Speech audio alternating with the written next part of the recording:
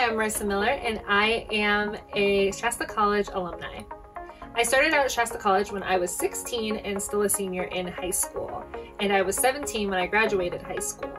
So going to a university that was far away and cost a lot of money to go to wasn't really an applicable option for me.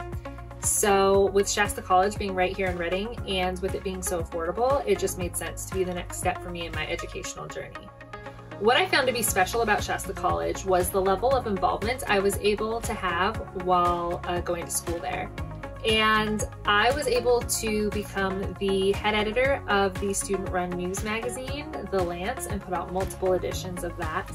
I also was able to become the writing club president and put out a publication featuring submissions from students and faculty of uh, artwork and poetry and fiction and photography.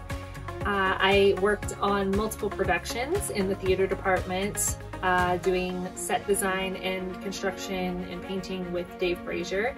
And I also was a writing tutor in the Writing Center and was able to help students with their academic writing endeavors.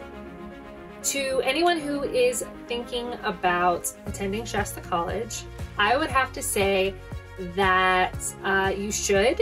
And if you do, take advantage of what the school has to offer because the staff and faculty and teachers and administration, they're all there to try to help you succeed and that is what they want to see happen.